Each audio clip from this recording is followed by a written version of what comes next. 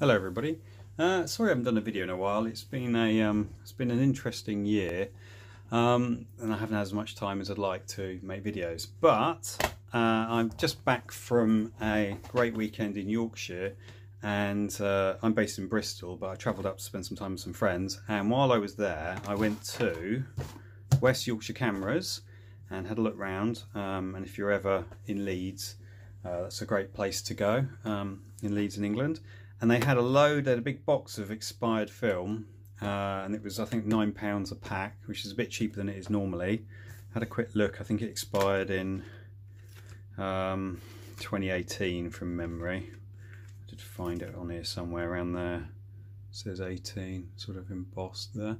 So anyway, so the thing with film is obviously it can expire. It doesn't normally make a massive amount of difference, and if it's kept in a fridge or in a freezer, then it really doesn't age. Uh, you know, it's absolutely fine. But Polaroid film, from memory, has a battery in it which powers the camera. So it'd be interesting to see if this expired film, if the battery still works. I kind of hope it will. Um, the other thing is I've got a couple of Polaroid cameras that I know work, but I picked this Polaroid camera up in its box at car boot sale uh, last year, long before lockdown, when you could go around car boot sales, which was a good time. Um, I hope you're all doing well during lockdown. Uh, and this camera, its original box with everything, um, looks absolutely mint. But I have no way of checking that this camera works until I get film for it because the battery is in the film. So I've never used this camera before. It comes with instructions and things. Um, so I thought this is a good opportunity. I can try this film see if it works and powers up the camera and it'll be a good test for this camera which I think looks pretty cool. It's got a bit of a rainbow thing going on which is really cool. Um, kind of ahead of its time maybe and yeah right so this camera as far as I can tell you look through here you take the pictures uh, I think I have to look in the manual what this thing does I think that's but anyway, right, for a minute, and this takes the pictures there. So you pull this sliding tab down, or you push it forward, I think, and that pops down. And there was like an old film in there with the, uh, the battery was long dead, and I took that out uh, when I first got the camera home. Uh, so we're going to open up the film. Uh, uh, uh, a minute when you open up the film, let's get this film out of here, do it as quick as possible, comes in like, like that, and Polaroid black and uh, 600 film, I think this is a, is it black and white film, so that'd be quite cool. Um, now I've got an Instax, uh, Instax Mini, and I have to say Instax Mini is great, it's smaller, um, the cameras are a bit smaller and uh, but then the the films you the photos you get from it are smaller.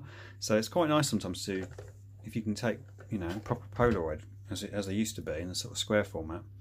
Okay so says wish you were here. So this uh, the tab at the front this goes in like this I think. God, it's been a while since I did one of these Polaroid cameras but I think they're pretty straightforward. And uh, do I take that tab off? I can't remember if I do. Um, does it say on the back of the box? Uh, I can't remember. I'm going to just close it see what happens. There we go. Wow, I think I've got a working camera. Fantastic. So what I'll do, I'll take a couple of pictures with it, make sure it's okay, and, um, and then I'll share them at the end of the video. A couple of my first snaps with this camera the uh, Polaroid 1000. Uh, pretty cool looking camera. I think this bit here was you could stick a flash unit in the top there. Um, let me have a quick look at the manual. Uh, just want to check there's anything. Well, hmm. About what this little knob here does. I think it might be if you want, uh, if you were using the flash. But uh, if you know what this does, post in the comments, because I haven't a chance to look that up yet. Uh, it's been a bit of a a busy day. Um, okay, well, anyway, thanks everybody who subscribed and following my videos, and thanks for your patience because I know I haven't done a video in a while.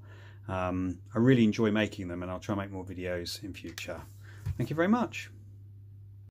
Okay, yeah, so I just a quick kind of end to the video. I did take the pictures with the film that I bought, which was the expired film. Um, once you've taken all your pictures, then the camera will still it's quite a loud camera, but it'll still take it'll stay, still uh, keep whirring away because the battery's in the film. And you just slide this here. There's a button here, and you remove the empty. So the photos were in there, spring kind of loaded, and that comes out, and that's that's what it looks like empty. And there's a battery in here somewhere, and then that's it. So close that up and that's ready put a new film in when I'm ready. Uh, one thing I did work out was the this knob here um, essentially is exposure compensation. So I think you're supposed to do is leave it in the middle position like that. It's a little arrow there. And then you can under or overexpose using the exposure compensation knob and that was basically it that was the only thing that I wasn't sure about but I looked that up um, I wanted you to know before I ended the video. And then, so I'll be honest, I wasn't very impressed with, I think it was the film rather than the camera.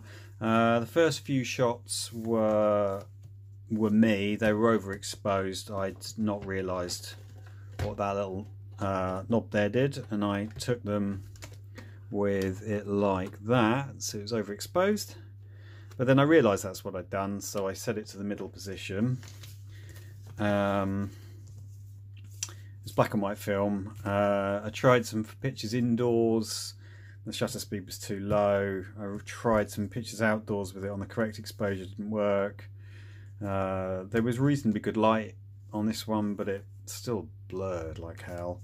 Um, yeah, and then these two are kind of you wouldn't know, but these are sort of self-portraits, but they've um, they've not come out very well either. I think I will not buy expired Polaroid film again. Um, when you compare these to what you can get from a Fuji Instax and the film that you get with that, I think it's a lot better.